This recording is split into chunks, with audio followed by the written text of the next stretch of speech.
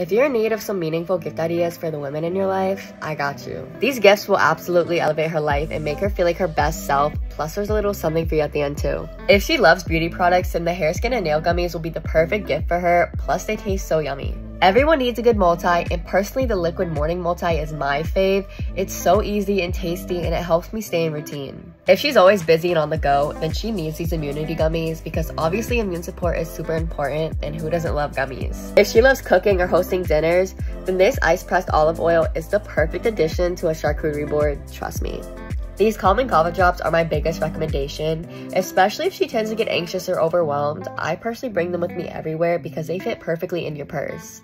And lastly, if she loves all things hair care, then definitely grab the Hair Growth Liposomal for obvious reasons, plus it actually tastes delicious. And if you decide to purchase any of these products for your holiday shopping, be sure to use the code for 25% off at checkout. And you can purchase at maryruthorganics.com or on their storefront, so happy holidays.